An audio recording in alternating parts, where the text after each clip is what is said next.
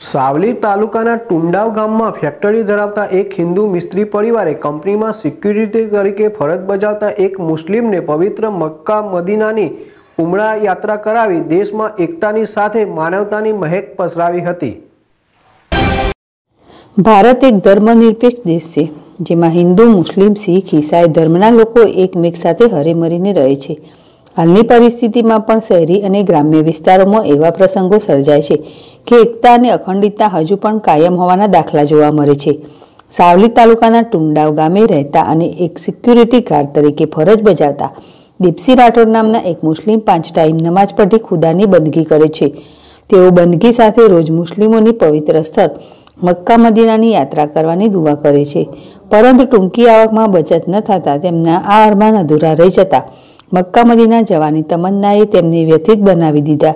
એક દિવસ જે મારુતિ વુડન્સ ઇન્ડસ્ટ્રીઝમાં વોચમેન તરીકે કામ કરતા દીપસી ઉપર માલિકની નજર પડી. દરરોજ પ્રામાણિકપણે ફરજ બજાવતા કંપનીના વોચમેન કામગીરી જોતા કંપનીના માલિક મહેન્દ્રભાઈ મિસ્ત્રીના મનમાં મુસ્લિમની ઉમરા યાત્રા કરવાનું નક્કી કર્યું. આ વાત દીપસી કરતા પોતે આટલો ખર્ચ કરવાની હેસિયત ના હોવાનું જણાવતા મહેન્દ્રભાઈએ પોતાના ખર્ચે તેમની યાત્રા કરાવી. આકાશ પટેલ જેડેશ ટીવી સાવલી.